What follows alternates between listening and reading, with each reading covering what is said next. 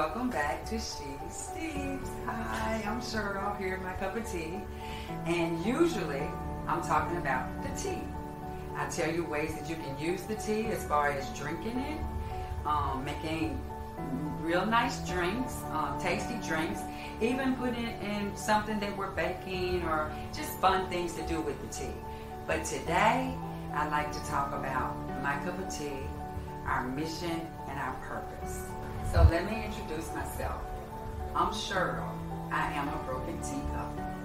But in my broken state, I'm still beautiful because here in my cup of tea, we have a beautiful teacup chandelier that describes each of us, all the ladies, perfectly. Because if you look at the teacup chandelier, some of the cups are chipped, some of them are cracked, broken, some of them have stains, used, thrown away, put back together again. But if you ask our beautiful ladies, what does that mean? All lives need healing. We're all broken people. But together, look how beautiful we are together. We become cup holders for each other's lives. So that's what we represent here at My Cup of Tea. We represent there, that there's beauty in brokenness, but there's also togetherness. Because if I come in and I'm not feeling well, something's going on in my life, or something's wrong in my life, I'm knowing that when I come to my cup of tea, I'm gonna be embraced, I'm gonna be loved, not judged, but just love right where I am. Love back to beauty, to the beauty of the brokenness. So please come, learn more about us, support us here at My Cup of Tea because the mission is to walk women beyond the boundaries of poverty and neglect, brokenness, or whatever's going on in your life, and embrace you into a beautiful place of wholeness.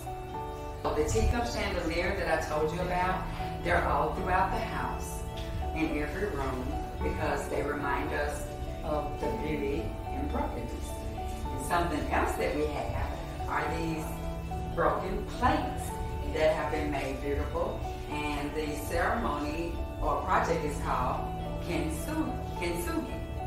And what that means is um, there's beauty in brokenness. It's a Japanese art of repairing. So when we broke our plates, and they're beautiful plates, but when we broke them, we had to piece them back together. And then we had to seal them with gold. And so the process of breaking the plate, putting it back together again, and then making it even more beautiful after the break is just the example of how God puts us back together again.